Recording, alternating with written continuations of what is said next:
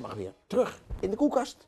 Ik doe nu de deur dicht hoor, anders wordt het een beetje te koud. Uh, doen jullie zelf het licht uit? Dag, tot straks. Zo, nou ik kies bewust.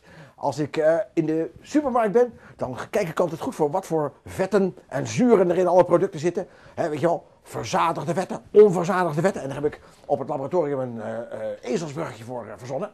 O is oké, dus onverzadigd, dat is goed. Eet smakelijk.